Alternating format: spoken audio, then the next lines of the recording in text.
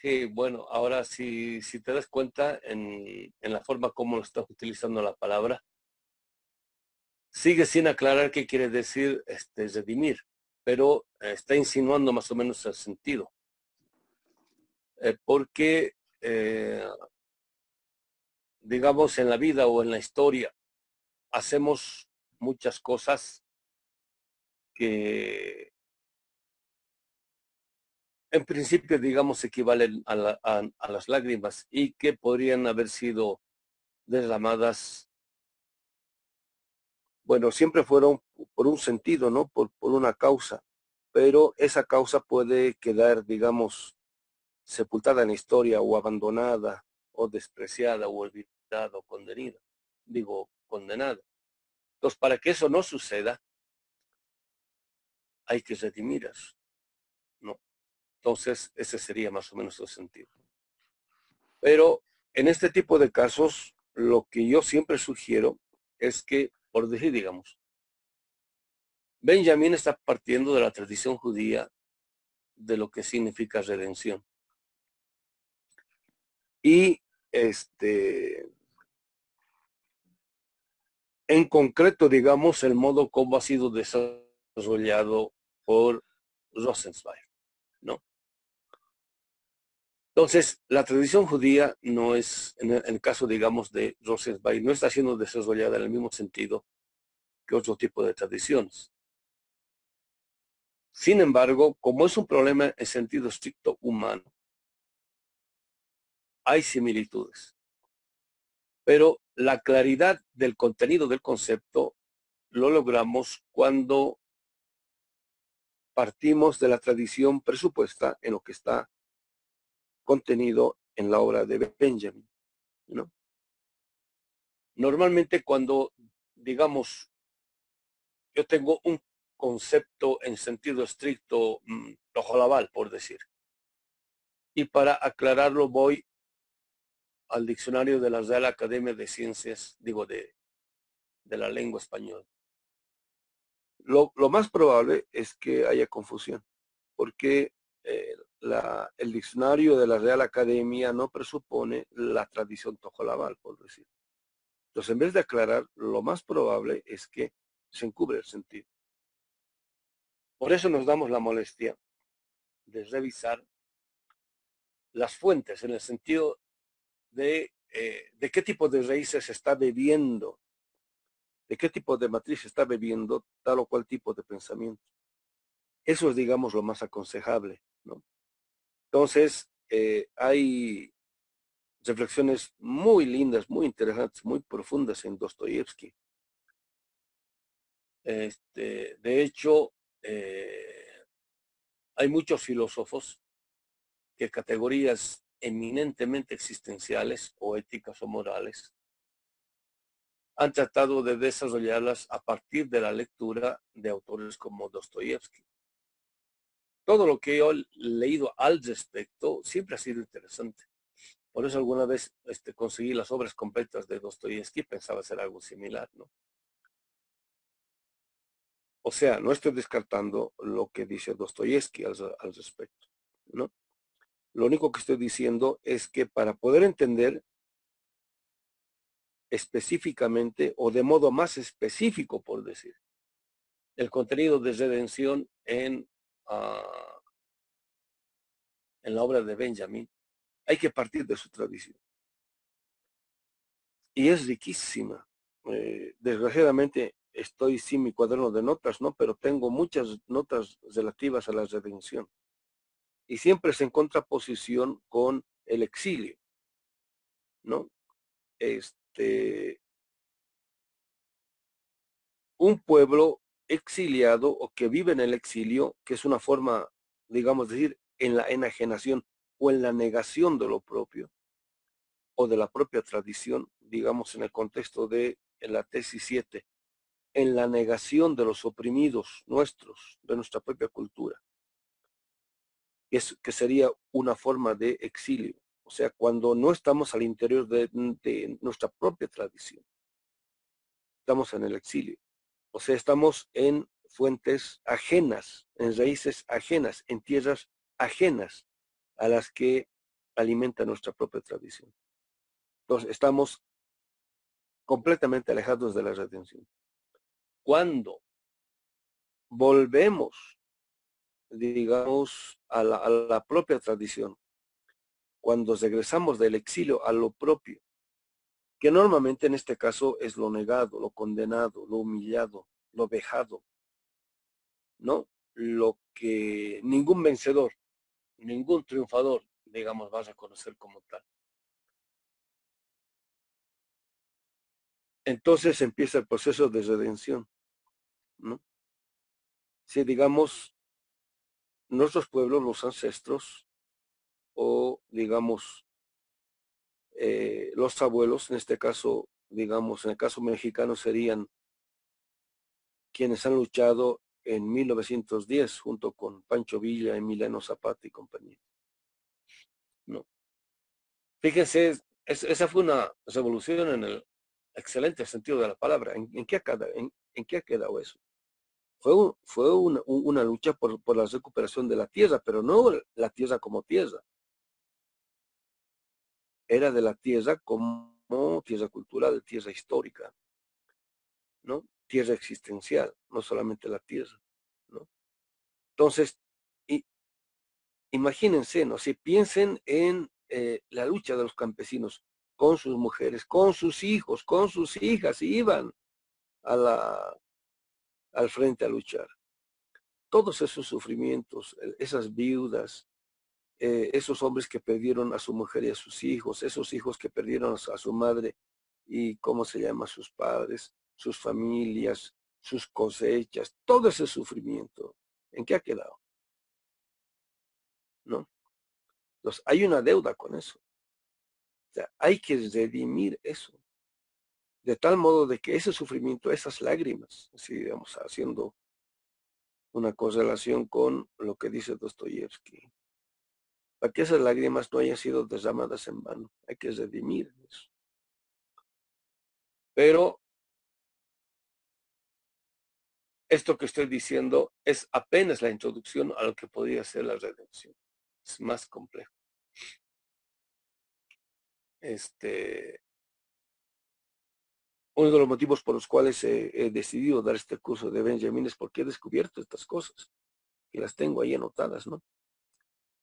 Lo que significa la, este, la retención. Y por ello es que este, se me hace un concepto central, paralelo, digamos, o tal vez más fundamental que el de liberación, que sería, digamos, el resultado de todo esto. Pero si no es redención, está, está difícil. Entonces, seguiremos dándole vueltas al contenido del concepto. O sea, seguiremos abriendo contexto de tal modo de que cuando lleguemos al tema no nos caiga de sopetón, sino que sea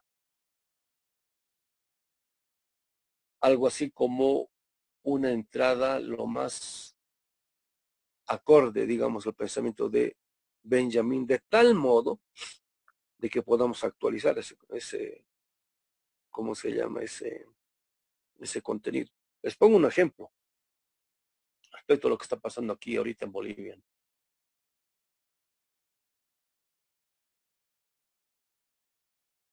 El sistema de salud está colapsado no por la cantidad de enfermos, está colapsado por la ineficiencia,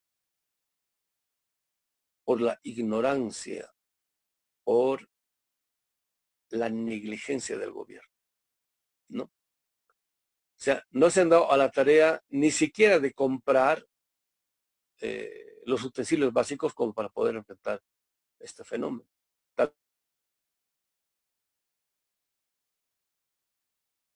O sea, nadie puede ir a, un hospital, ¿no?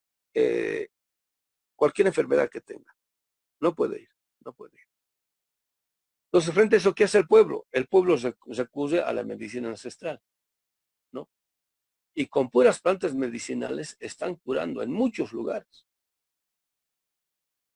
Ah, no solamente aquí en, en La Paz, sino en las zonas amazónicas, en las zonas de los valles, etcétera, con puras plantas de medicina y bien, la gente está, se está curando. Entonces le preguntan al, al ministro Murillo, que es el asistente inmediato, digamos, de la, de la peliteñida, de la presidenta, que qué piensa de las plantas medicinales a las cuales el pueblo está recurriendo, ¿no? Entonces dice, esas son unas estupideces. Entonces, frente a eso, ¿qué hacen los médicos herbolarios? Ayer hubo una gran marcha eh, en, Bolivia, o sea, no fue aquí en La Paz, porque fueron en muchísimos lugares, eh, exigiendo elecciones inmediatas, porque el Tribunal Electoral está postergando, pues es la tercera vez que posterga. Lo quiere postergar a octubre, después a noviembre y así sucesivamente. Quieren hacer todo lo posible para quedarse en el poder. Es una gran movilización para que no suceda esto. Entonces, de pronto, ahí este, vemos un video en el cual una señora, una cholita campesina, está en la marcha y está cargando las plantas medicinales. ¿no? Que sería, digamos, un intento o un gesto de, de retención. Entonces le preguntan este, que por qué está marchando. Entonces dice, ya estamos cansados de que estas autoridades no solamente insulten a nuestra huipala, insulten a la pollera, o sea, al indígena, y ahora insultan hasta nuestras plantas medicinales, que dice que son estupideces. Entonces, estamos marchando con nuestras plantas medicinales, ¿no? Para demostrar que no son estupideces, sino que es la cura que nos ha dado la Pachamama para que podamos seguir viviendo.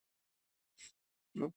Es, ese, por ejemplo, si se dan cuenta, no es un acto meramente medicinal o curativo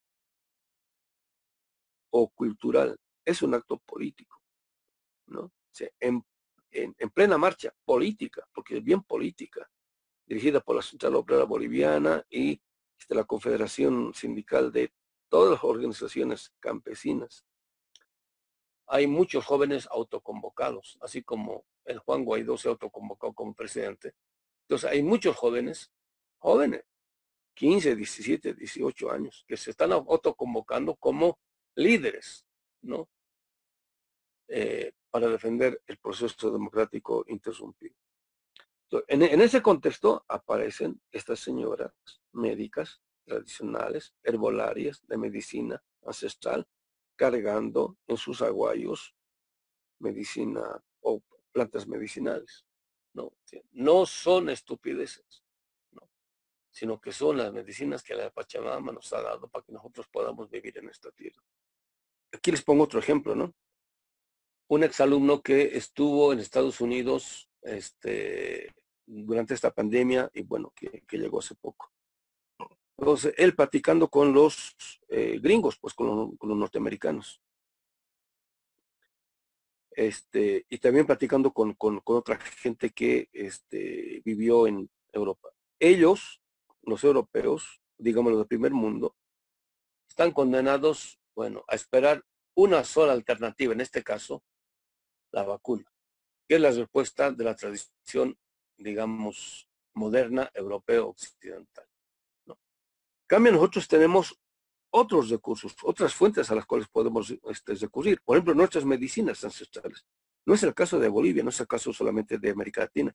En el África está pasando igual, hay mucha gente que se está curando en toda la región de, Indochina, ni que se diga.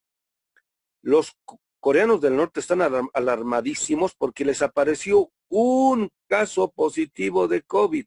imagínense, un caso positivo de COVID. ¿Por qué? Porque están recurriendo a sus propias tradiciones.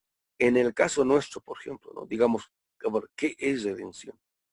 Partimos de lo que dice, de la tradición a la cual se remonta Benjamin.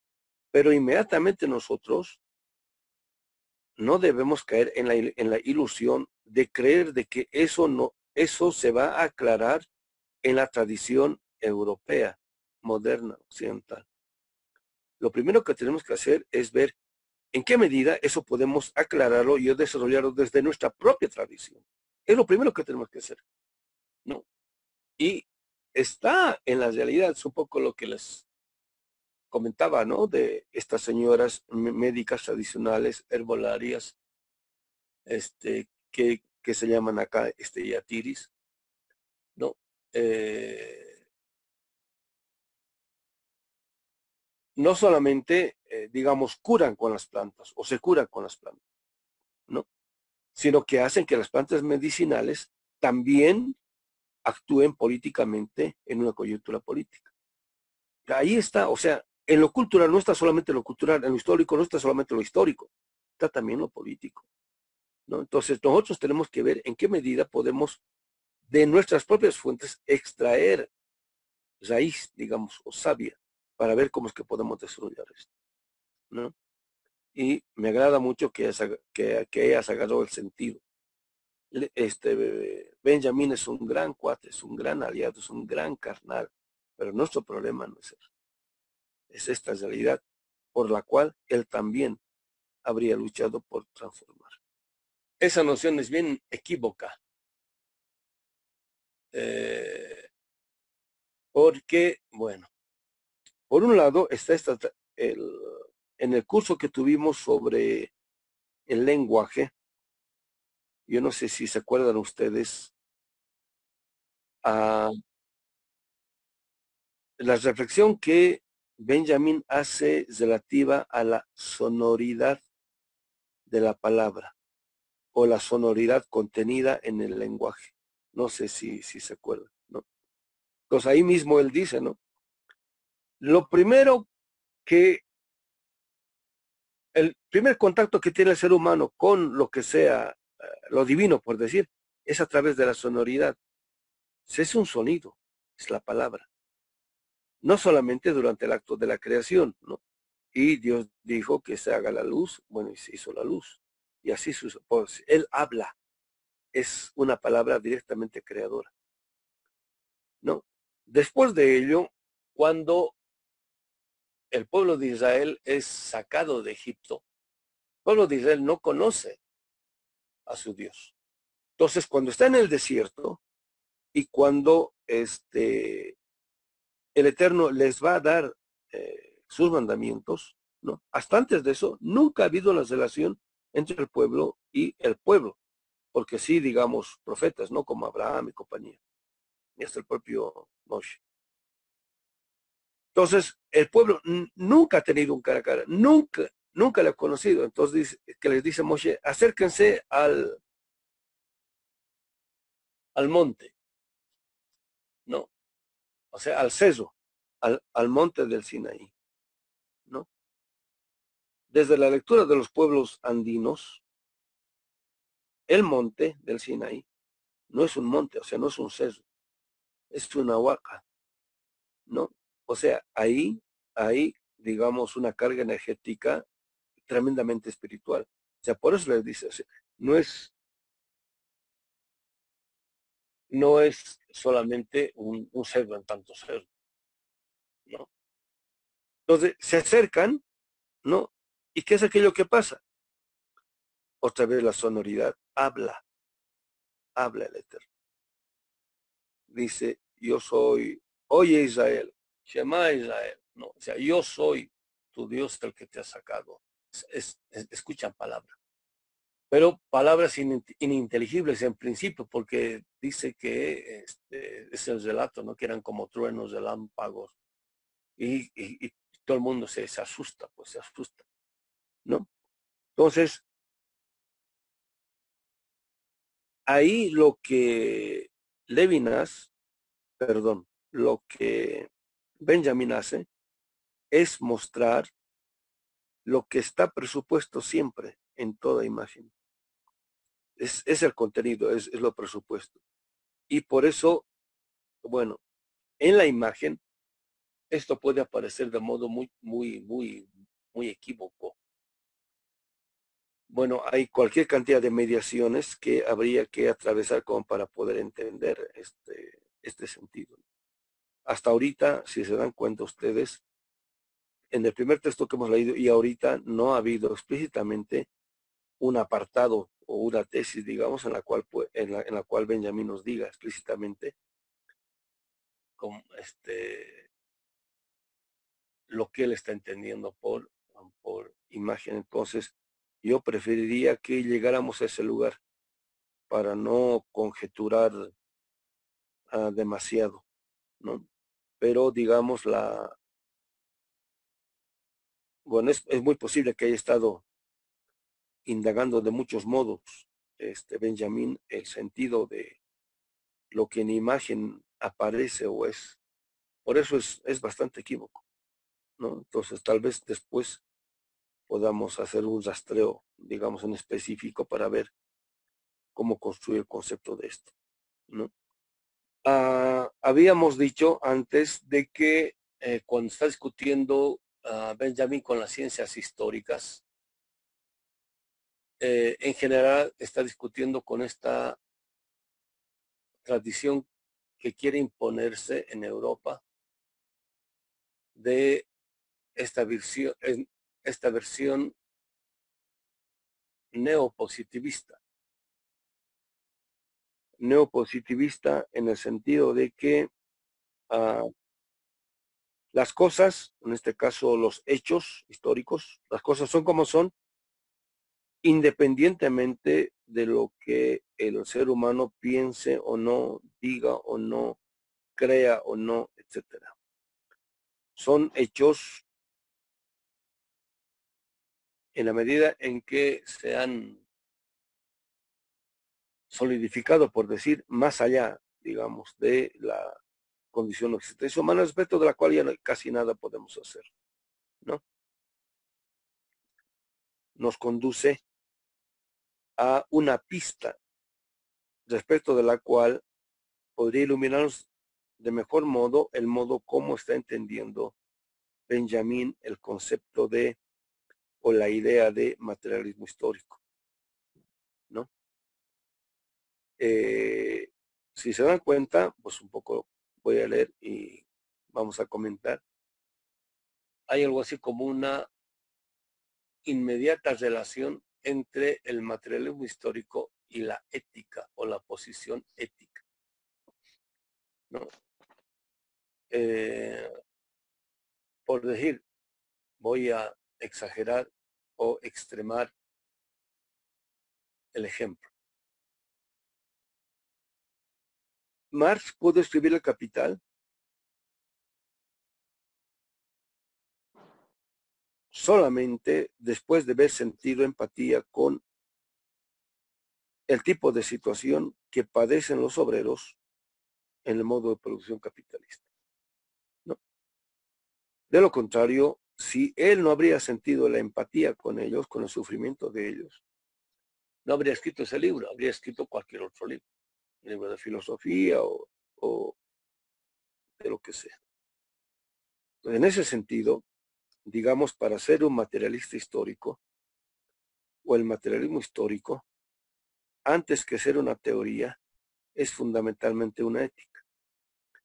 Y quienes eh, conocen el tercer tomo de comentarios de Dussel al, a las cuatro acción del capital, Dussel llega a la conclusión de que el capital, o sea, el libro, el libro El Capital de Marx, es una ética. ¿No? Es una ética, digamos, negativa, en el sentido de que parte de lo que un sistema, en este caso económico, o un sistema de dominio, niega. ¿No? Entonces, parte de esa negación, ¿no? O sea, no es una ética secas. Y por ello mismo es una ética que critica, por eso es una, es una ética crítica, que pone en crisis a el bien o la bondad del sistema.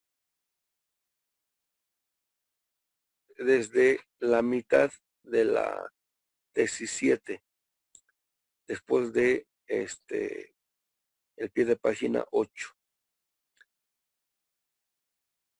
Y habíamos comentado este, lo que dice Flaubert, eh, esta cita en francés. ¿no? Dice Benjamín, la naturaleza de esa tristeza se hace patente al plantear la cuestión de con quién entra en empatía el historiador historicista. El historiador historicista, esto es el, historiador o el cientista social o el filósofo que está al servicio del, imperio, que está al, servicio de un sistema de dominio, ¿no? Siempre entra en empatía o en simpatía o a favor o afirma el punto de vista del vencedor. Dice Benjamin, la respuesta es innegable, que es así con el vencedor. ¿No? Entonces, cuando uno asume un, un tipo de teoría, lo que está asumiendo, por decir, digamos, cuando uno, cuando uno se declara Foucaultiano, lo que está asumiendo no es, digamos, el corpus teórico de la obra de este, Foucault. Está asumiendo lo que está contenido como presupuesto en esa reflexión teórica. Digamos, está asumiendo como propia su constitución ética. Del, con quién, digamos, en última instancia, este, siente simpatía o empatía, o con quién se eh, empata el, el autor en cuestión. Pasa lo mismo con una disciplina y en última instancia, digamos, con un tipo de, tradición. Continúo. Pero los que en cada época mandan son los herederos de los que siempre han vencido. Digamos que sería la normalidad, ¿no? A los que, un ejemplo, o, dos ejemplos de eso ahorita, digamos, sería el caso de Chile y el caso de Colombia. No. Después de Pinochet, no. Todos los que han mandado son los herederos de los que siempre han vencido. Y ahora, digamos, en, Colombia se está, se sigue afincando esa, esa forma de posición. Cuando se quiere poner en crisis eso, pasa lo que el dueño de estos coches eléctricos, Tesla creo que es, ¿no? Elon Musk creo que es, ha dicho, están dispuestos a, hacer y a financiar cualquier cantidad de golpes, que fue el caso de Bolivia, cuando se quiere cuestionar eso. Entonces, lo normal es que el historiador y el, cientista social, cuando describe la realidad, eh, esté constituyéndose a sí mismo como un heredero del punto de vista del vencedor. Continúo, dice, la empatía con el vencedor resulta siempre ventajosa para los mandamases de cada momento. Porque pues les va bien. Disfrutan de, todos los beneficios, digamos, todas las glorias que el poder como poder produce para disfrute propio. Sigo. Con ello ya se le dice bastante al materialista histórico. ¿No? Eh, se le está diciendo de que, y esto en los Grundrisse Marx lo desarrolla muy bien. Lo paradójico es que, ¿cómo es que la ciencia social crítica y muchos marxistas no se dan cuenta? Cuando Marx muestra cómo es que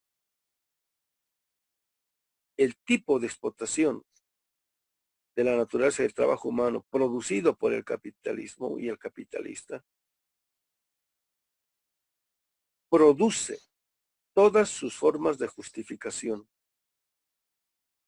hasta en el plano de la ciencia y la tecnología y la literatura y la filosofía, etcétera, etcétera. Y por eso nosotros llegábamos a partir de ese texto de Marx a la conclusión de que la ciencia social moderna y la filosofía moderna es el despliegue en el ámbito de la ciencia y la filosofía del punto de vista burgués, en este caso del dominador. Entonces, si esto es así, lo lógico es que quien está en contra de eso no parta ingenuamente de los presupuestos de esta ciencia y o filosofía. Es más, el, punto de vista no solo debiera ser, digamos, el del proletariado, porque eh, partiendo uno del punto de vista del proletariado, se puede aburguesar qué es lo normal. Aquí el, lo fundamental es mostrar que la obra de Marx es y el intento de desarrollo y despliegue de conceptos y categorías para cuestionar en nivel radical el punto de vista que en el plano de la ciencia y la filosofía ha desarrollado el dominador, en este caso el capitalista o el moderno. Entonces, que por eso hemos dicho varias veces y de muchos modos, el crítico que no atraviesa la obra de Marx deviene críticamente ingenuo. Esto es, no bebe, no absorbe las fuentes que de la teoría crítica ha producido Marx para criticar lo que se quiere criticar y por eso al final devienen subsumidos a, digamos, por el interés contenido en el sistema de dominio, que es un poco lo que he puesto varias veces como ejemplo que ha pasado aquí en Bolivia. ¿no? Gente bien, así con una fuerte formación marxista, bien proletarios, eh, herederos, digamos, de la obra de René Zabaleta Mercado, ¿no? Al final han terminado del lado de la derecha, de los golpistas, un poco, digamos, como el caso en Venezuela, del grupo de decoloniales de derecha en torno de este Edgardo Lander. Entonces, sí, uh, el materialista histórico es consciente de ello, sabe que más allá de que el materialismo histórico sea un corpus teórico, el fundamento, el principio, el a partir, el desde, a donde está construido todo, todo ello, es una posición El materialista histórico, por más formado teóricamente que esté en esta disciplina, si no tiene bien clara la posición ética, no tiene nada. Epistemólogos como Semmelman han insistido muchísimo en eso. Ni qué decir Inkelano. ¿no? Entonces, por ello es que, por decir, en una epistemología de, de carácter crítico, una reflexión de carácter crítica, y acá sería en una reflexión histórica de carácter crítico, lo primero que tiene que estar claro es el punto de vista desde, el cual voy a partir. Y esto tiene que ver con la empatía. Lo que más arriba dice Benjamín con la tristeza. Si no siento la tristeza de quienes están borrados de la historia, negados por la historia, condenados por el tipo de historia del dominador, no hay la posibilidad de pasarle a la historia el cepillo a contrapelo. Entonces, digamos así, en términos generales, lo primero que podríamos decir es que el materialismo histórico, antes que un corpus histórico, porque es un corpus histórico, es primero una posición ética. ¿no? Sigo. Dice Benjamin, quienes hasta el día de hoy han salido siempre vencedores de sus contiendas, marchan en el desfile triunfal de los dueños del momento, que pasa por encima de los vencidos, que hacen postrados en el suelo. ¿No? Digamos, en toda marcha triunfal, digamos, del gran capital, del capital transnacional, de las glorias de la cultura, este, ¿cómo se llama? Moderna, europea en sentido estricto, ¿no? Lo que está por debajo y de modo postrado, ¿no? Son los cuerpos de los vencidos. ¿No? Si no hubiese eso, no habrían estas glorias. Estas glorias de la modernidad. Y eso tiene que ver mucho con, eh, con la historia. Cuando uno agarra el punto de vista de eh, estos que han sido pisoteados, están postrados en el suelo, y, ¿cómo puedo decir? A ver, y siente la tristeza de ellos. Cuando sucede eso, todas las glorias culturales de Europa y Estados Unidos se vuelven basura, dan asco. Por eso yo muchas veces he dicho, todos estos edificios, calles, ciudades, este, centros comerciales y hasta, digamos, obras musicales, teatrales, etcétera, que veo, digamos, de la Europa moderna, no me impresionan en absoluto, porque inmediatamente cuando veo algo, me está mostrando algo, lo que sea, inmediatamente recuerdo la historia que está presupuesta en él. ¿No? Y cuando uno conoce eso, sabe eso, la aparición estética o la mostración estética o la ocultación estética que de esa barbarie se ha hecho, eh, se deforma completamente. Y solamente cuando sucede eso, recién podemos reconocer la estética negada en, los, en las producciones culturales nuestras que vistos desde la perspectiva de ah, la estética o la cultura europea aparece como feo, tosco, rudimentario, rústico. ¿No? Uno puede verlo bien esto, no solamente en la obra de Hegel, sino hasta en la obra de Adorno, cuando hace sus juicios respecto del jazz producido por los negros en este, Estados Unidos. el, juicio que su estética hace es desastroso. Y es un materialista histórico. Adorno. ¿Quién podría decir que Adorno no es un materialista histórico? Nadie. ¿No? Hasta un libro sobre dialéctica negativa escrito, imagínense. Este, uno se podría preguntar ahí inmediatamente, ¿no? ¿Quiénes son los negados de su obra. Vamos a suponer que sean los judíos, ¿no? Han sido vilipendiados, vejados, ultrajados, sí, eso es cierto, pero son los únicos. O ahí es donde se ve la negación más radical, ¿no? Entonces, quien Marx no escribe en nombre de los judíos, o tampoco escribe en nombre de los obreros. No, porque no hay un solo tipo de obrero. Marx escribe a partir de los obreros en nombre de todo tipo de humanidad negada, incluyendo la de los judíos.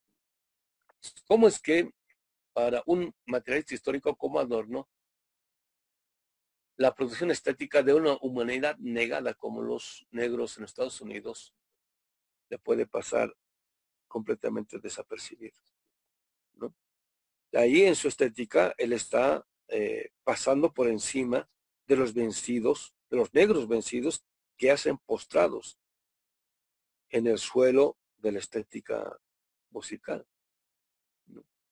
Ahí se ve clarísimo de que la posición ética en Adorno no estuvo clara desde el principio. No sé si se entiende lo que quiero decir. Mejor Kaimer es peor. Y oh, si dan cuenta, estoy siendo bien, bien, bien radical, pero es necesario. Es necesario. Y ojo, Adorno platicó personalmente muchos de estos problemas con Benjamin. ¿No? Y, digamos, tuvo una percepción de, de, primera mano.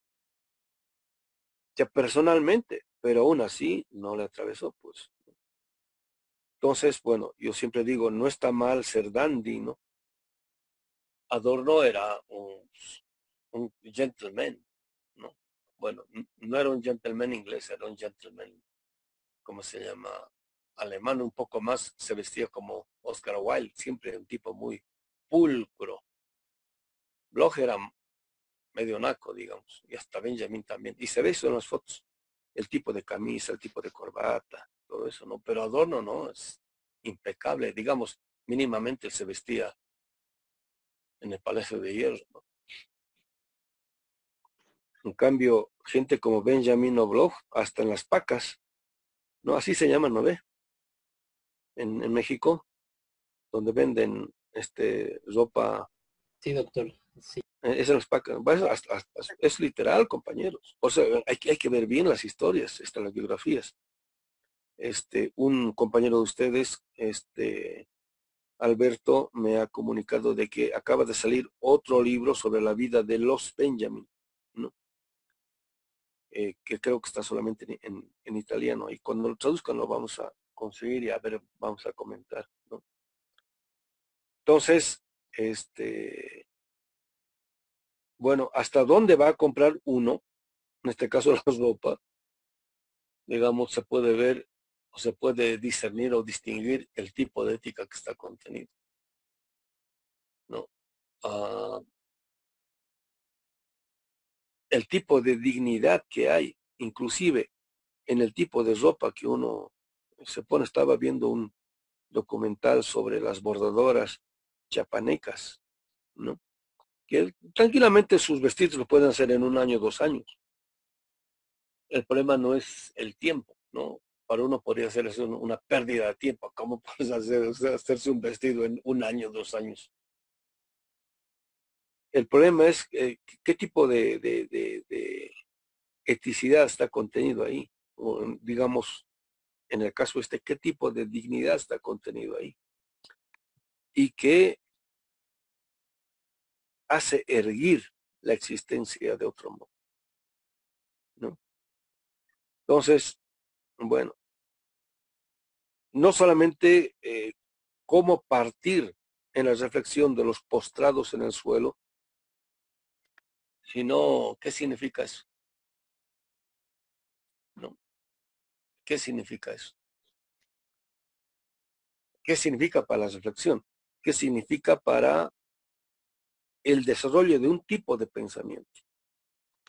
Para que este, no vuelva a suceder, pues, porque Benjamin está en un contexto en el cual el vencedor sigue venciendo, sigue venciendo.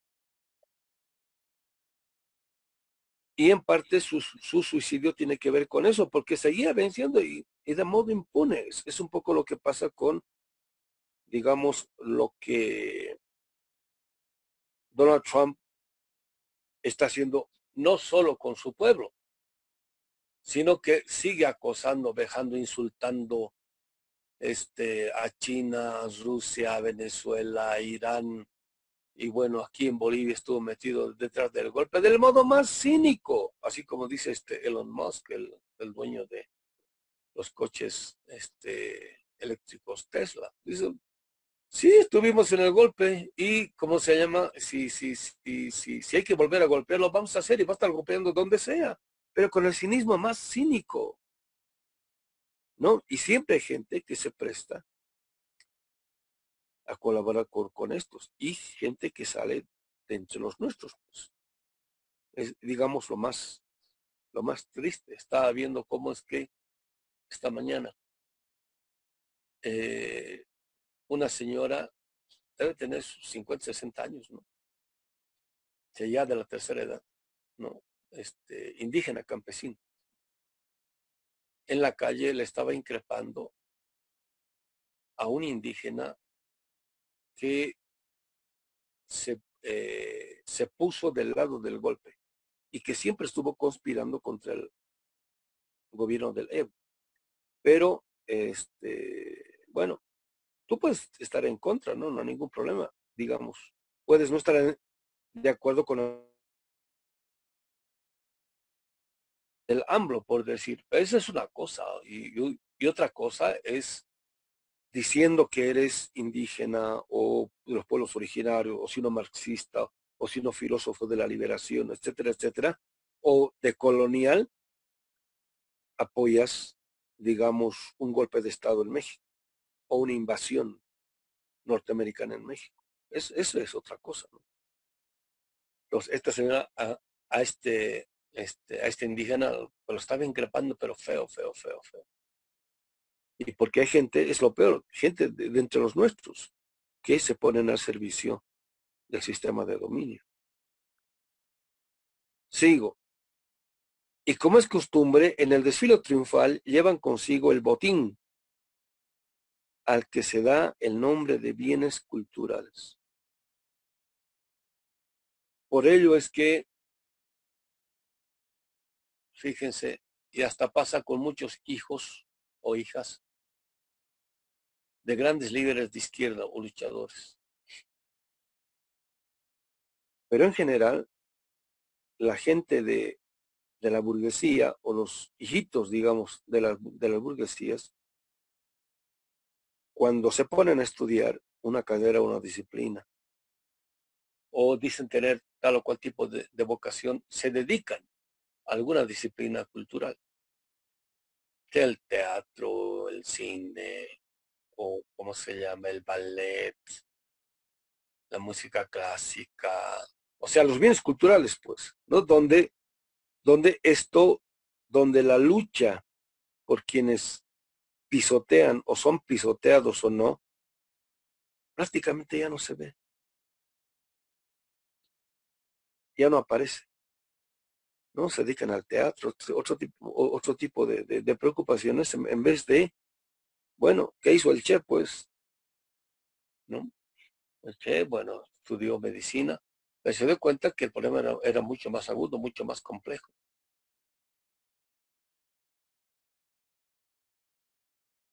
y entonces, digamos, eh, cambió, digamos, de la disciplina, por decir, científica a la, a la, política en sentido estricto. Y en este caso, digamos, esta es revolucionaria. ¿no? Entonces también es algo similar en el ámbito de la filosofía. ¿no? Bueno, entonces, ¿qué, qué, qué, qué ramo, qué disciplina, qué campo uno va a trabajar en esta línea de trabajo o en esta forma de trabajo para desarrollar campos a partir de los cuales se pueda no solamente entender, comprender la realidad, sino vivir la realidad de otro modo. ¿no? Y ojo, hasta las manos con Doctor, compañeros. ¿Qué pasó? Se, se, le cerró el micrófono, pero ya está. Ah, ya.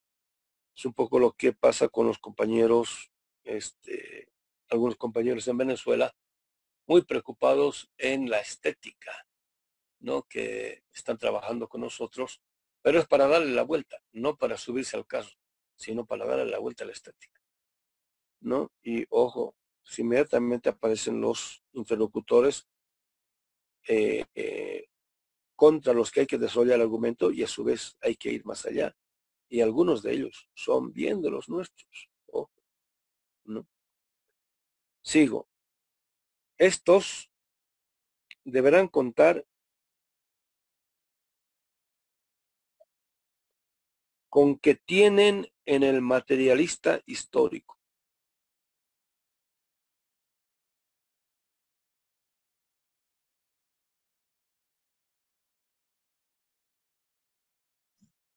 Profesor, creo que otra vez apagó su micrófono. Perdón, es que tengo dificultad de moverme, entonces estoy. Ahora está encendido, ¿no? Sí, doctor. Ya está bien. Hay que aprender a tomar distancia de los bienes culturales que ha producido el capitalismo en la modernidad.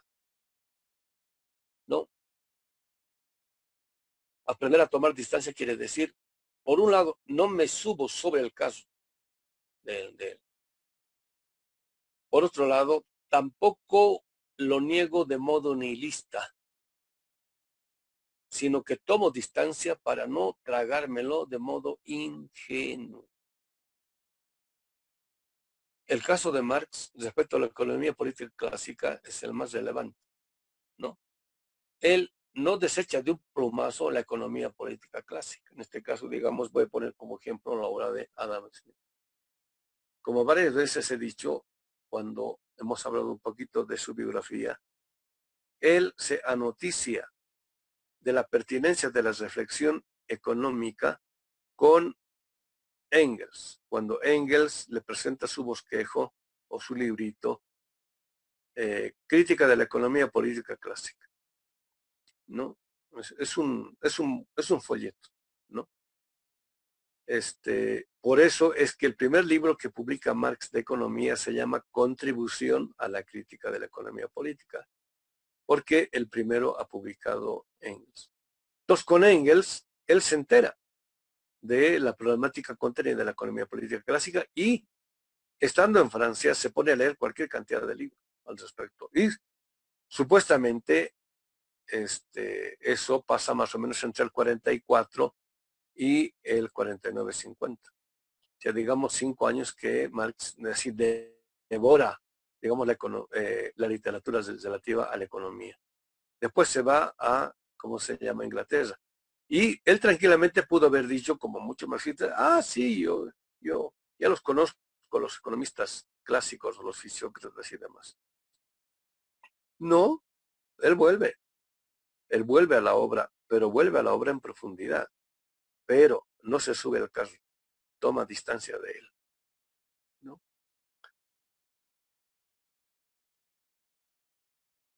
Esto es lo que dice aquí Benjamin en el sentido de que hay que tomar una distancia es similar a lo que dice, ojo, estoy diciendo similar, no estoy diciendo lo mismo, a lo que dice Husserl. Dice, respecto a las certidumbres que uno tiene, para poder ir, ir, más allá de ellas o del conocimiento tradicional estándar, hay que poner las certidumbres en suspensión. A eso le llama epoye. ¿No? Entonces, para el sistema de dominio aparecen como verdades, ¿no? Yo los tomo como verdades del sistema de dominio, pero no verdades en sí mismo, o como conocimiento en, en sí mismo. ¿No? Entonces, uno eh, toma distancia. Hay que saber tomar distancia. Esto es, por un lado, hay que conocerlo, hay que conocerlo en profundidad, pero hay que saber tomar distancia. Sigo, estoy en la página 311, 311. Ya que los bienes culturales que éste abarca con la mirada, eso tiene que ver con la imagen. Tienen todos y cada uno un origen que no podrá considerar sin horror.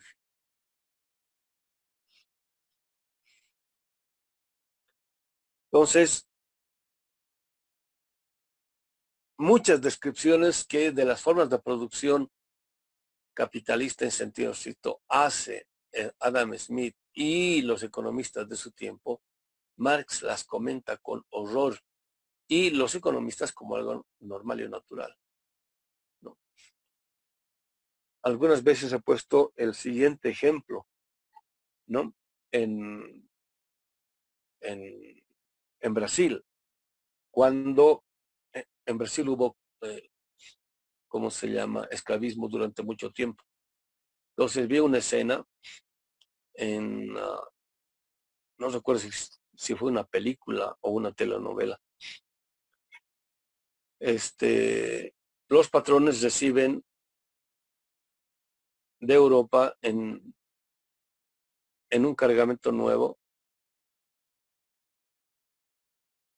herramientas para torturar. Eh, con manual, con todo eso, ¿no?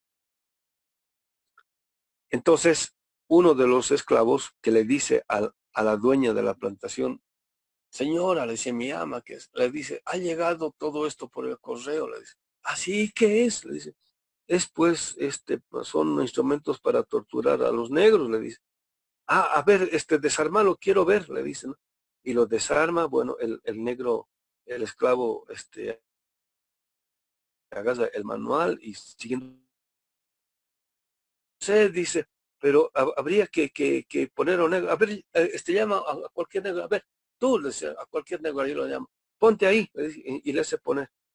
¿No? Entonces dice que hay que hacer esto, dice que hay que apretar este tornillo acá, dice que hay que jalar esta palanca acá, y el negro está gritando, ¡ay! ¡ay! así, para, para, para torturar, pues, ¿no? Y están apretando por aquí, por allá, para ver cómo funciona este, la maquinaria y de pronto se muere el negro. No tortura, se muere. Se lo torturan sin haber querido torturarlo, solamente querían comprobar cómo funcionaba la, este, la maquinaria, ¿no? Nada más.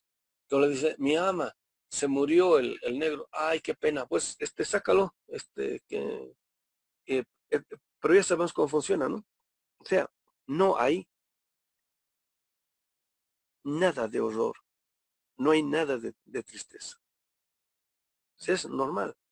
Y para el modo como, digamos, es un poco lo que, lo que decía de este Musk, de este Telon Musk, ¿no? Es posible que él sepa cuántos muertos y cuántos heridos y cuántos presos ha, habido producto del golpe de Estado acá en Bolivia. Pero de ello, digamos, no se osoriza en absoluto. Digo, es normal. Es más, si hay que volver a hacerlo, lo van a hacer. O sea, no tiene ningún problema. ¿No?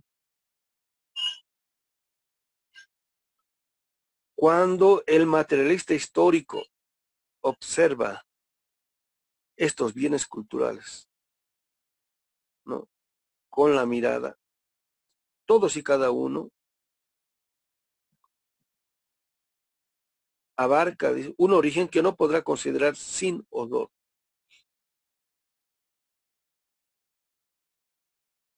Pues está contenido eso. Y cuando uno conoce la historia, inmediatamente ve el contenido de, todo eso. Aparece el, el horror. Aparece el horror donde el horror estéticamente está borrado. Es un poco lo que dice Hinkelamer, ¿no? La economía burguesa es como un gran limpiador de sangre humana. ¿No? O sea, todo su sistema de argumentación sirve para hacer desaparecer toda la sangre que está contenida en toda la producción de los bienes que produce el capital. Y en este caso la modernidad. Doctor, perdón, ¿podría repetir esa frase última que dijo, por favor? ¿Cuál, cuál frase última que dije? La de la sangre, la de la sangre humana. ¿Qué dije de la sangre humana? A ver, eh, estoy bien concentrado yo en el tema. Ay, dijo, dijo que e, era un gran sistema de limpieza de la sangre humana. Ah, ah, ya. Hinkelamer dice, Hinkelamer dice, y no una vez, lo dice varias veces. La ciencia económica burguesa sirve para limpiar de sangre humana todo lo que ella produce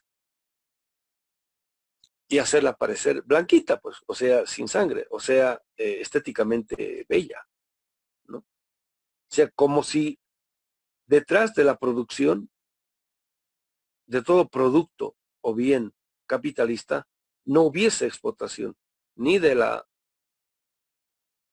Pachamama ni del trabajo humano. Eso dice. Entonces, en este caso, cuando está diciendo Benjamin, de que cuando uno mira todos estos productos, que aquí se llaman bienes culturales, Ah, desde el punto de vista del materialista histórico que no ve a la realidad como un, este, como un mero espectador, sino que estando comprometido toma distancia de ella. Dice, no podrá contemplarlo si no es con horror. A mí ya nadie me puede contar flores de los bienes culturales de la modernidad o de Europa, Estados Unidos. Porque he leído tantas historias de horror o van eh, mostrando históricamente. No sé si ustedes han leído, por ejemplo, la otra historia de Estados Unidos. Es, un norteamericano que, que, escribe. Eh, va mostrando, bueno, como desde el principio Estados Unidos es la constitución de eh, una forma de vida asesina, eh, ladrona, ¿cómo se llama? Violadora, así feo, así vamos mostrando, así como desde que llegan lo primero que hacen es eliminar indios, pero, o sea, no sé, ¿Cómo puedo decir? No, no. se enorgullecen, se vanaglorian. Es un poco lo que los cucos clan hacían, colgando, quemando negros, después de que se había abolido la, este, la esclavitud. Y eso prácticamente hasta la década del 50 del siglo XX. ¿No? Entonces, el materialista histórico, cuando quieren pintar bonito Estados Unidos, lo, lo, primero que tiene que sentir es horror de todo esto que está, que está contenido en la historia de este país. Lo mismo con Canadá. El, tipo que admira, no, estuve en Nueva York, estuve en Manhattan, estuve, wow, así tomando. No, no, ese es el tipo que está sobre está bien asentado, digamos, sobre el punto de vista, sobre la forma de este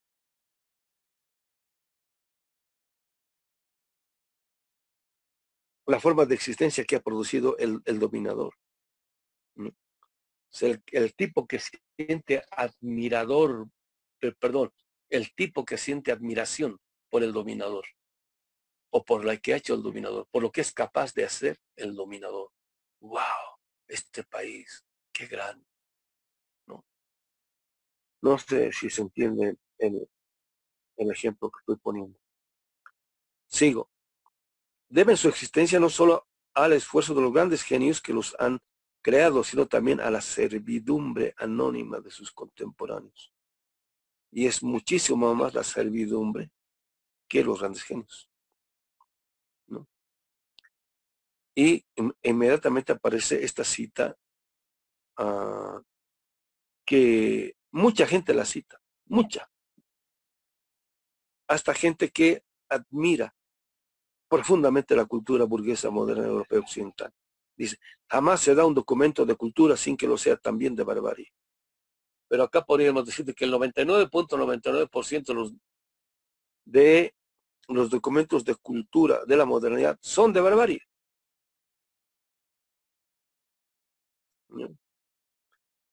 Y lo peor es cuando miramos eso, queremos eso, buscamos eso. Si no, digamos, yéndonos allá, buscamos eso acá, ¿no? Digamos que sería el problema de lo de, lo de colonia. Buscamos eso acá. El, el otro día platicando aquí con unos compañeros, estaba recordando como que, como unos cuatro o cinco años más o menos, me invitaron de una revista, los organizadores de una revista argentina, ¿no? Para que publique mis textos de coloniales, porque querían constituirse en uh, algo así como la vanguardia de la reflexión de colonial en lengua hispana, y que creo que lo estaba coordinando Miñolo, ¿no? Entonces me dice, lo invitamos. Mm, para que publique con nosotros. Le dije, sí, cómo no, y les envío un texto mío. Que era como de 30 páginas. Entonces inmediatamente me responden y me dicen, mire, sabe que, no, eh, que, nos interesa, está bien su texto, pero queremos que lo corte, que lo recorte a 20 páginas, ¿no? Y que sus citas sean de tal forma, con, con tal o cual tipo de formato, con tal tipo de tamaño de letra, tiene que ser eh, tal tipo de fuente y además tiene que escribir dos abstracts, uno en inglés y otro en español, este, para cumplir con todas las formalizaciones o con los requerimientos de las producciones eh, intelectuales en Europa o Estados Unidos.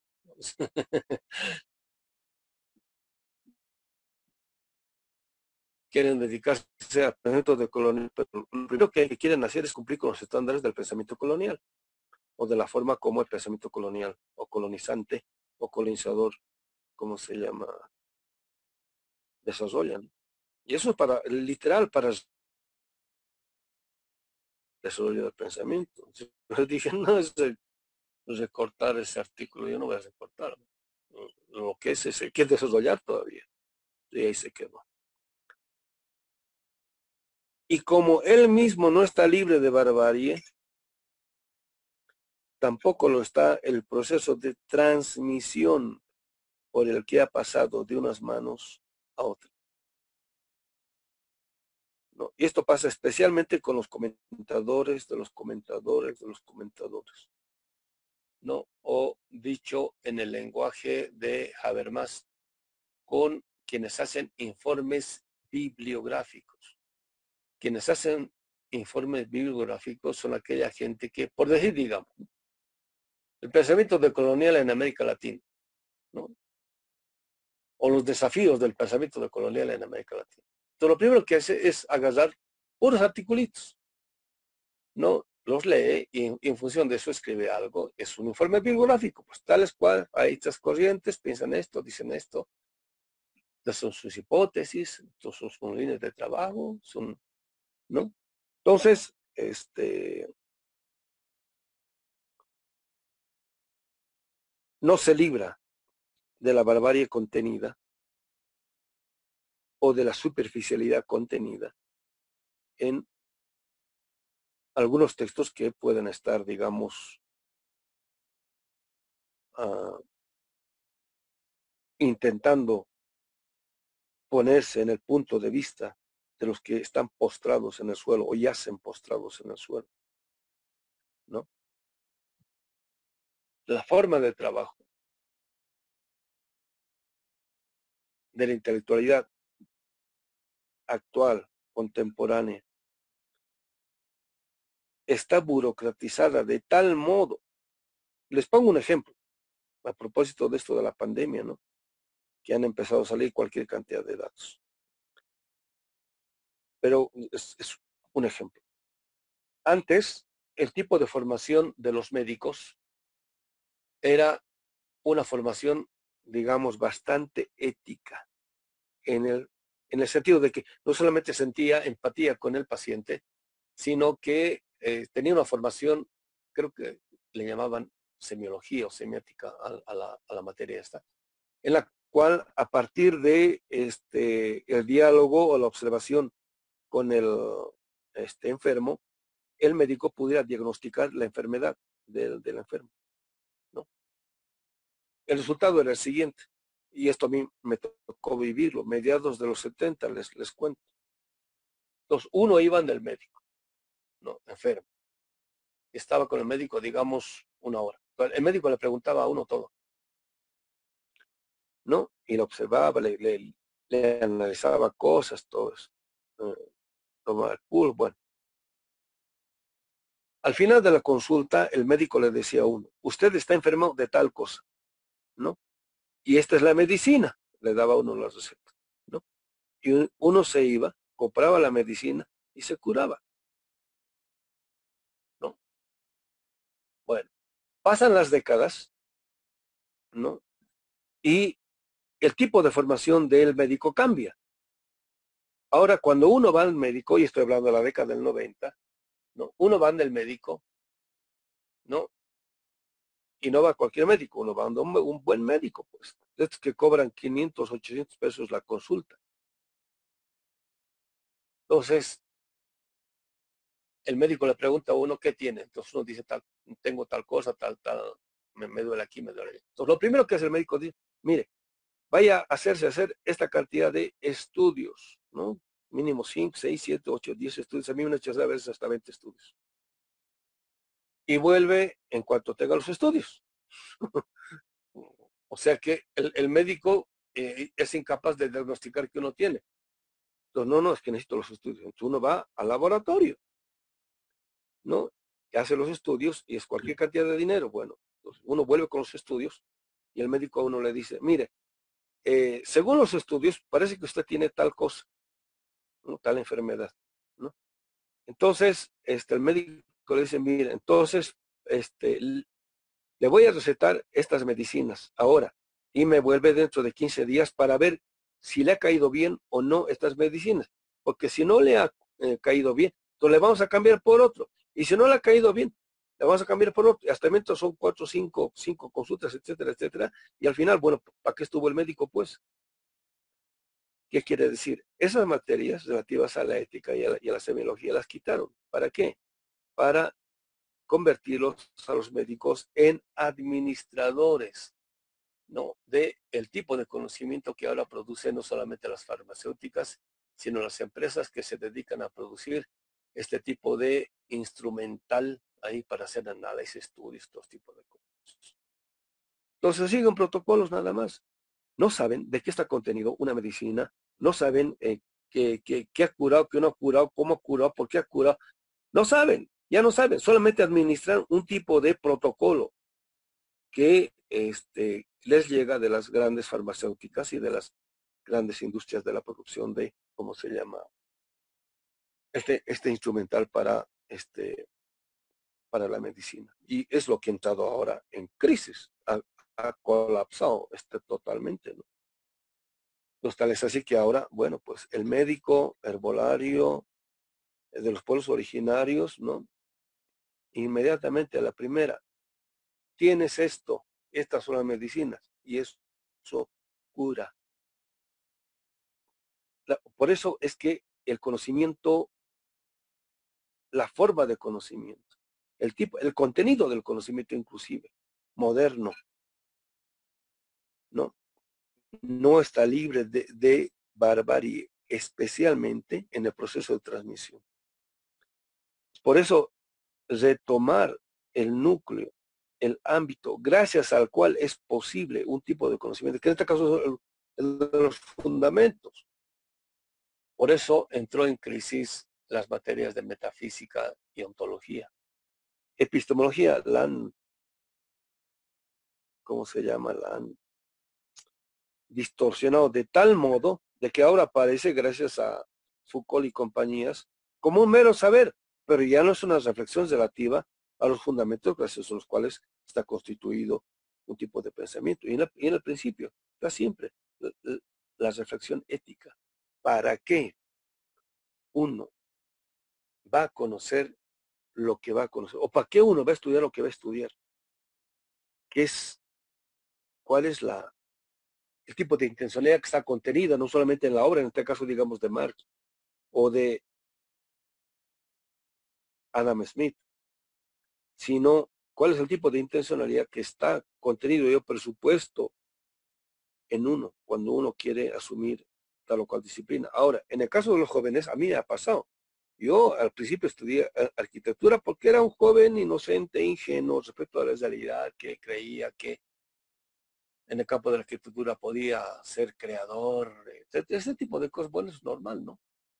Pero eso pasa, pasa inmediatamente. Y entonces uno tiene la, la oportunidad y o la posibilidad de eh, ser consciente de la intencionalidad con la cual ha, ha elegido tal o cual tipo de disciplina. Entonces puede cambiar el fundamento o si no, cambiar de disciplina, como fue este mi caso. Y el caso también de Marx. Él era abogado. ¿No? Tranquilamente pudo haber sido, como aquí mucha gente, no son abogados, son abogánsters. ¿no? tranquilamente, digamos, para quedar bien con su, su novia, que era una noble. Y él digamos, clase media, burguesía, peque burro, lo que le decían. En cambio, su, la que fue su esposa era la nobleza, nobleza, ¿no? Entonces, lo ideal sería hacer eso antes de ingresar a la licenciatura, o sea, durante el bachillerato, hacer esta toma de conciencia.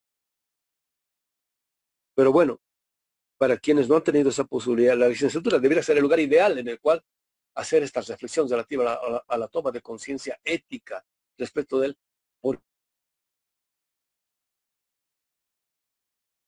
y tenerlo tan claro de tal modo de que, de que esa intencionalidad ética, ese compromiso ético guíe desde el principio todo el tipo de producción que uno va a tener.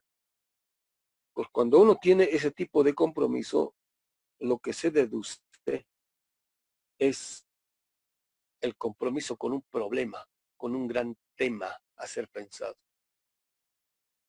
Entonces constituye a todos los filósofos o pensadores en colegas, en cuates con los cuales uno puede pensar lo que quiere pensar. Cuando sucede eso, el resultado de su producción es un pensamiento nuevo. ¿No? Se nota en el contenido se nota en el contenido, que decir, se nota en lo que está presupuesto eso. Esos son los que quedan, esos son los que tienen algo que decir en la historia. El resto son meros comentadores que hacen informes bibliográficos. ¿no? Continúo. Por eso el materialista histórico se distancia de él en la medida de lo posible.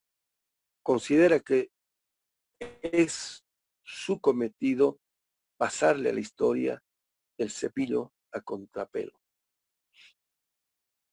Esta última oración mm, la han citado compañeros, si ustedes no se imaginan. Pero la han entendido. En principio, el materialista histórico o el filósofo de la liberación o el pensador de colonial. ¿No? Lo primero que tiene que hacer es distanciarse primero del capitalismo y después de eso de la modernidad. O sea, de todos sus cultores, de, de sus grandes ideólogos, de sus cientistas, de sus filósofos, para no caer entrampado al interior de su proceso de transmisión. ¿No? Entonces, cuando Husserl, en sus investigaciones lógicas, dice, para poder remontarnos más allá del hecho en tanto que hecho o del acontecer en tanto que, que acontecer. Lo primero que hay que hacer es poner las propias certidumbres en suspensión. Es, la, el, No puedo dar nada, por supuesto. Eso es lo que hace todo gran pensador. y lo que veo hasta en tesis doctorales de alumnos, un montón de cosas las dan por presupuestos, las dan por presupuestos, o sea, no, no, no se atreven a tomar distancia de aquello que están asumiendo. Y muchas cosas parecen bonitas, en principio interesantes. Digamos, los grandes pensamientos de dominio empiezan con, con buenas ideas por ejemplo, este, la sociedad abierta y sus enemigos, el de, el de Popper, por ejemplo, cuando empieza no dice nombre, o dice, pues está muy bien, o si no, está la constitución con la cual surge Estados Unidos, ¿no? Dicen, en principio, el ser humano, todo ser humano, la afirmación del ser humano, todo ser humano tiene, tiene como se llama el derecho a que se les reconozca sus derechos. O sea, empiezan bien. El problema es siempre qué deducen de eso. Como el caso de Locke, ¿no? Esto lo, lo muestra Hinkelamer, pero de modos muy contundentes. A partir de que el ser humano es libre por naturaleza, deduce la esclavitud. Evidentemente no de todo ser humano, ¿no? Pero deduce la esclavitud. lo primero que hay que hacer es tomar distancia, ¿no? Especialmente de, uh, digamos, de las tesis o las corrientes o los autores que están en boga y que todo el mundo lo está comentando. Lo peor que uno puede hacer es pensar a partir de los pensadores o corrientes que están de moda. Lo peor.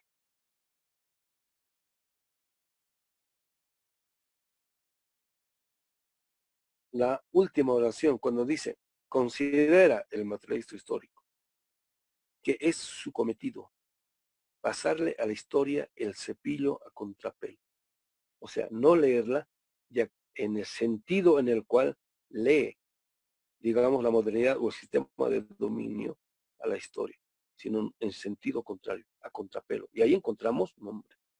No sé si alguna vez han cepillado. Yo a propósito, a propósito de cómo se llama, de Benjamín, hice eso, evidentemente no con un caballo, porque no tuve acceso a un caballo. Yo creo que ha sido una, una mula, ¿no? Entonces, este, he agarrado y que les he pillado contrapelo y no, pues, uno ve cosas que, bueno, una apariencia no se ve, Y hasta cosas feas, ¿no? Sarnas que a veces tienen granos. tipo caspa, así feo, feo, feo, feo. Lo primero que uno tiene que hacer es, bueno, ir en sentido contrario. Es un poco lo que, bueno, en el caso de el capital también en los Londres, ¿no? Cuando leíamos Marx, también leíamos Marx a contrapelo. ¿No? Pero ya no en el sentido de que, ¿cómo se llama? De que Marx sea o no un pensador de la dominación. No, no, no en ese sentido. Sino de que, bueno, Marx va mostrando que es de, un modo lógico. Por eso insistimos mucho en ah, el tipo de lecturas, perdón, el tipo de redacciones que Marx hace del Capital. ¿No? Nunca, de buenas a primeras, él cree que ya ha encontrado la forma definitiva de exposición. No, él va ensayando varias formas de exposición. ¿No? De tal modo de que lógicamente aparezca de modo coherente. No es la misma lógica de la dominación o la modernidad, sino que aquí el problema tiene su propia lógica y esa lógica él tiene que ser capaz de exponer. Bueno, ¿cuál es esa lógica? Es mostrar cómo el capitalismo produce su propio tipo de realidad. O sea, cómo una subjetividad produce un tipo de objetividad. En este caso, la subjetividad moderna, o la subjetividad burguesa, mejor dicho, cómo produce la realidad burguesa, que es la sociedad moderna, ¿no? Que es el capitalismo. Pero mostrando eso, cuando uno se pilla contrapelo la obra, va mostrando en la medida de, bueno, uno puede ver cómo es que, en la medida en que Marx muestra cómo es que el capitalista o el burgués construye el capitalismo, uno puede ver cómo el capitalista o el burgués va destruyendo lo que no es capitalista burgués. Entonces, en esa medida, hemos podido ver cómo es que podemos reconstruir lo que está destruyendo el capitalismo, el burgués y la modernidad. Ahora, esa misma lectura ahora le vamos a hacer a los tres tomos del capital. Sea, Inclusive con los propios podemos hacer, digamos, una lectura contrapelo, pero ya no es en el mismo sentido. Pero esto se puede lograr, esto se puede no solamente entender, sino desarrollar cuando uno entiende lo que está contenido en lo que está diciendo Benjamin, lo que significa pasarle a la historia el cepillo contrapelo. En todas las reflexiones epistemológicas que este servidor eh, ha hecho, está haciendo, estoy metido en esto más o menos desde el 83. ¿No? ¿Qué significa la reflexión epistemológica? Y pues, paradójicamente, es el primer libro que, he escrito es sobre epistemología, pero nunca lo, bueno, sí, sí se publicó, pero en forma de, de, de revista, que sé Y lo, y lo es, de hecho, estoy diciendo, pero hasta ahora nunca lo he publicado. Entonces, este, pues es algo que sigo trabajando, ¿no? Lo que he observado es esto lo siguiente. En el caso de los críticos, ¿no? Hay más o menos dos vías, dos formas de llegada a la, a la epistemología. La una es a través de la teoría y la otra es a través de la política. ¿no? A través de la teoría quiere decir lo siguiente. Ojo, entre la teoría y la epistemología está la política de por medio, pero eso es central. En el primer caso, digamos que eh, tranquilamente podría ser el fenómeno de la filosofía de la liberación, toda la generación de Dussel, ¿no? Son gente formada en un tipo de tradición, ¿no? Fundamentalmente, digamos, Heidegger, la fenomenología, husserliana o si no, este, levinasiana, ¿no? Están formados en un tipo de tradición filosófica, ¿no? Están en la teoría. Entonces, cuando desde ahí se enfrentan a la realidad política, ¿no? Se dan cuenta de que no hay una correlación, ¿no? Eh, que hay mucha distancia entre lo que está contenido en la teoría y lo que está apareciendo en la realidad.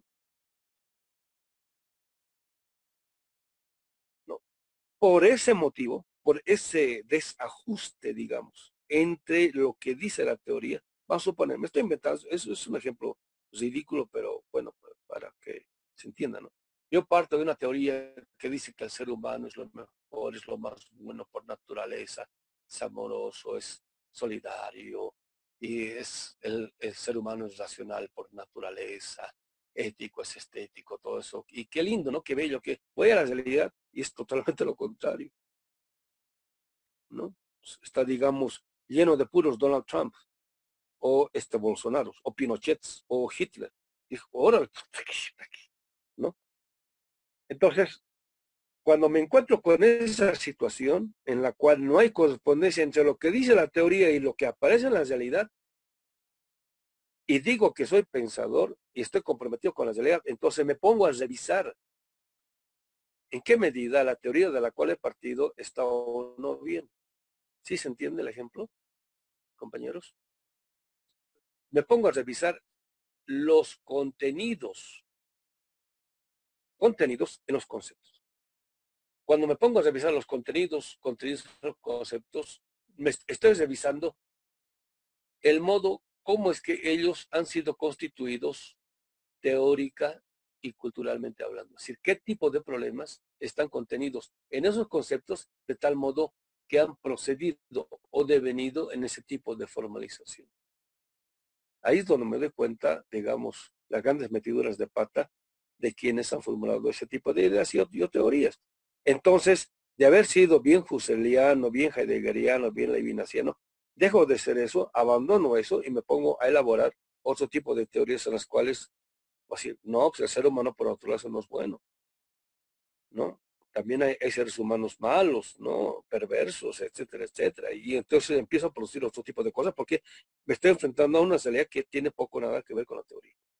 Esa es una forma de llegar a la epistemología. Y entonces, eh, si se dan cuenta, haciendo epistemología, o sea, poniéndome a revisar qué es aquello que está presupuesto como contenido en las teorías, en los conceptos, en las categorías, puedo empezar a formular mi propio pensamiento y decir, Heidegger decía esto de ser humano, pero no había sido así, sino que es así. ¿Por qué? Por esto, por esto, por esto. Porque en nuestro tiempo está pasando esto después de la Segunda Guerra Mundial, después de los golpes de Estado, etcétera, etcétera. ¿No? El segundo caso, que es el de este servidor, ¿no? Es el caso que dice Hugo Semmelman es el eminente. El el que uno llega a la epistemología por la política. O sea, directamente uno está metido en la política. Uno no está metido en la teoría, uno está metido en la política. Entonces, esa política está fundada en un tipo de visión de la realidad. En la política en la cual este servidor estaba subsumido era este tipo de política que decía de que después de una convulsión social lo que sigue es una revolución, ¿listo? Una revolución de corte socialista. Si es que la convulsión social es obrera, proletaria, etcétera, etcétera. Está metido en eso. Y de pronto cuando, cuando acontece la gran convulsión, no se da la revolución socialista, se da una dictadura de corte fascista. Entonces, Toda la visión de la realidad contenida en la política y la práctica política misma entra en crisis. Y cuando uno quiere entender esto, entonces se abre a la epistemología. Es decir, a ver, a ver, a ver.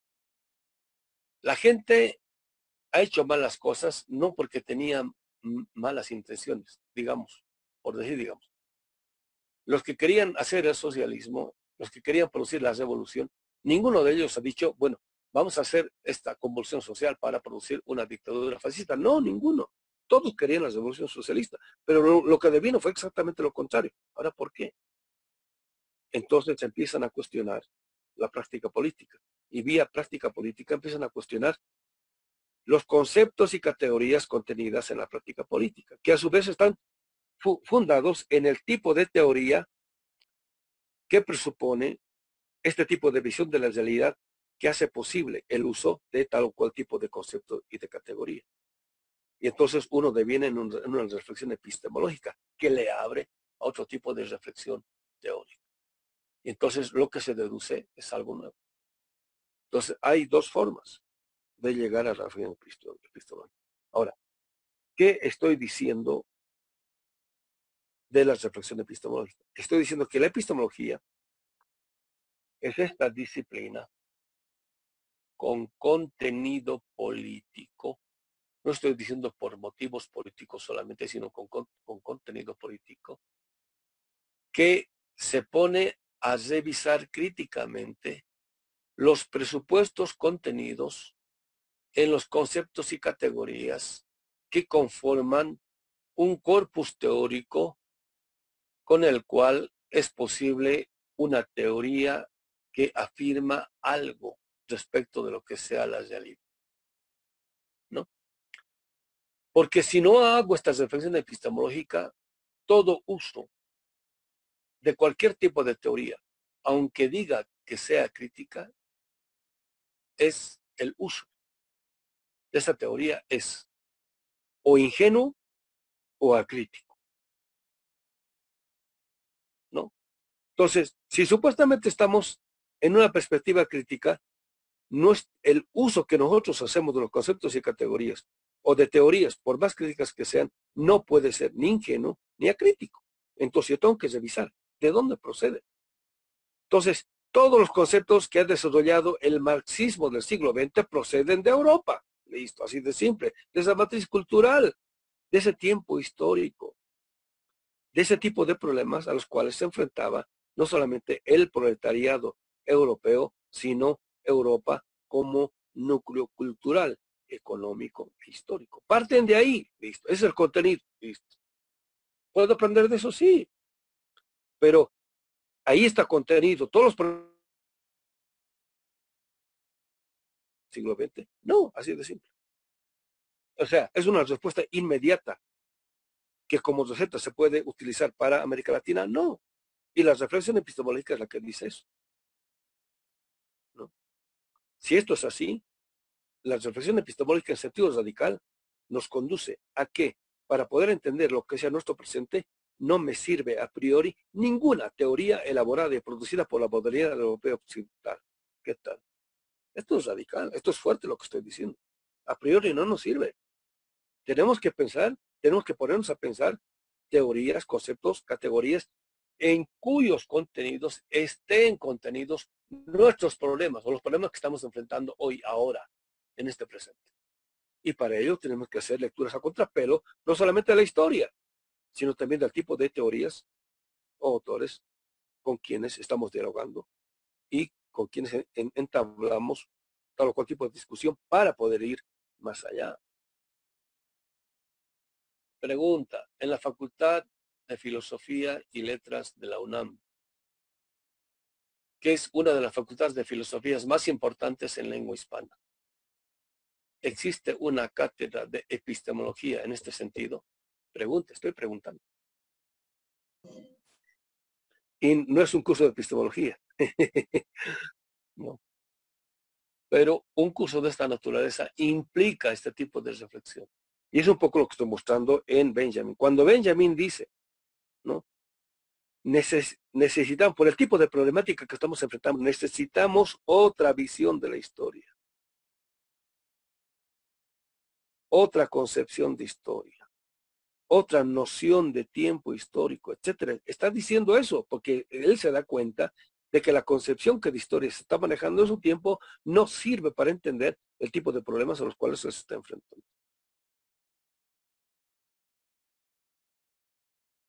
Pregunta.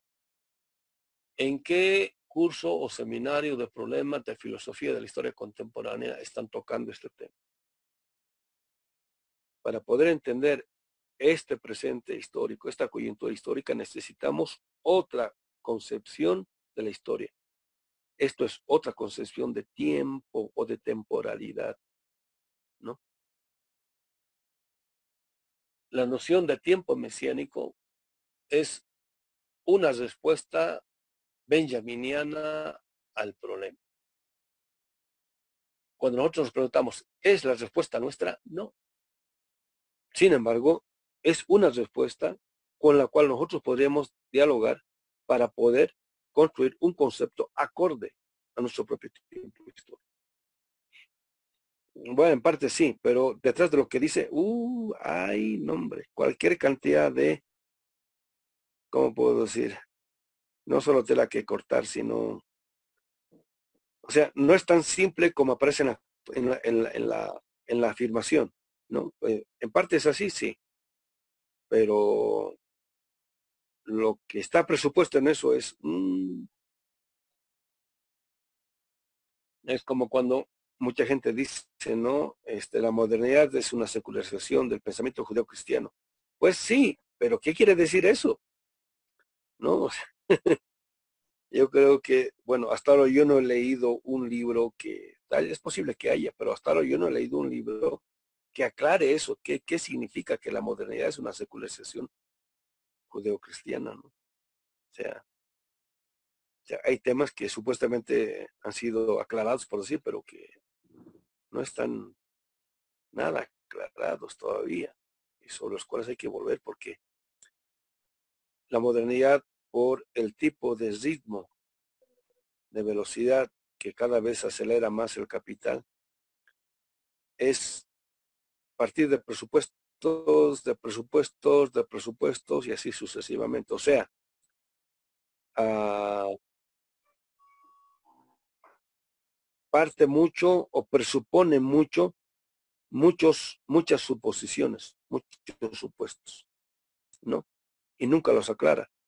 En parte porque, este, por la velocidad vertiginosa de la vida, porque hay que ir a las cosas en concreto y de frente, y en parte porque ya perdió la capacidad de desmontarse a este tipo de complejidades. O sea, digamos, una metáfora de eso sería la razón perezosa, ¿no?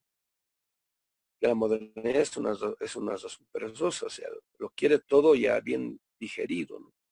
Y quienes, digamos, quieren ilustrarse un poquito más, pues van a las revistas, ¿no? Y ahora, digamos, en Internet, ¿no? Por ahí, digamos, vamos a suponer de que, bueno, y esto lo he visto, ¿no?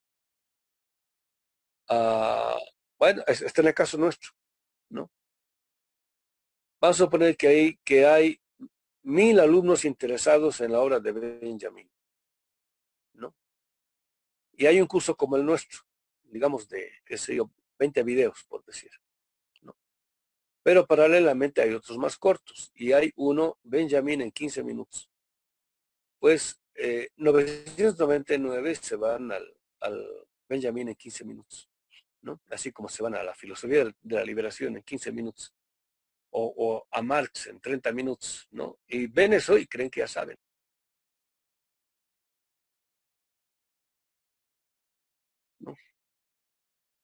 Entonces, este,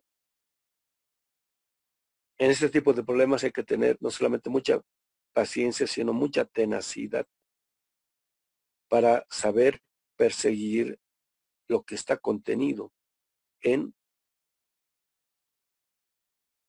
un problema o una teoría. Hay que saber preguntar, saber, saber preguntar en parte quiere decir saber mantenerse al interior de la pregunta, saber mantenerse al interior de la pregunta quiere decir saber persistir en el sentido de lo preguntado, uh, qué sé yo, 10, 20, 30 años, a veces más. Y eso, digamos, ya no es normal. El problema aquí es ahora de dónde tomamos esa energía. Y en parte, bueno, ¿qué quiere decir energía? Pues, ¿no? Este, y ese es un temón, un nombre. Estoy debatiéndome existencialmente con ese tema. ¿No? Y no es de ahorita, digamos, ¿no? ¿De dónde tomamos esa energía ahora? Bueno, compañeros, entonces cesamos la clase y nos vemos el siguiente miércoles. Hasta luego.